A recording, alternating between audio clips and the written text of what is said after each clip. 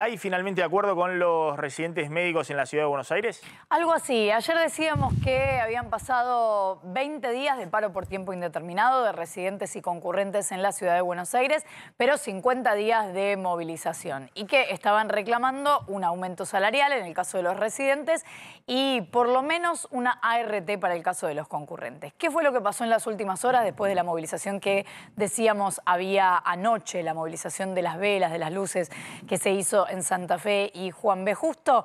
Bueno, la Asociación de Médicos Municipales llegó a un principio de acuerdo, un acuerdo que implicaría un salario de bolsillo de 210 mil pesos para los profesionales en grado de ingreso y ahí iría aumentando con algunas particularidades para las horas extras y demás.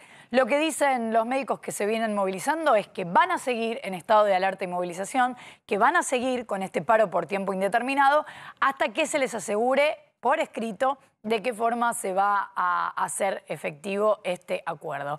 Pasa que no terminan de confiar muchos de los trabajadores que se vienen movilizando con eh, de su propio gremio. Están desconfiando de la Asociación de Médicos Municipales, que es quien se sienta a la mesa de negociación. Algo que también se está dando hoy en día. Digo, dentro de los trabajadores que están precarizados. Hay una situación y una discusión respecto de si va a haber un bono, una suma fija, algo que los ayude a llegar a fin de año. Y dentro de los trabajadores que sí tienen un marco de registración, lo que se da es también algunos que no creen en su propia representación gremial. Bueno, esto es lo que está pasando entre residentes y concurrentes, así que vamos a esperar, pero habría un principio de acuerdo para esta situación en la ciudad de Buenos Aires.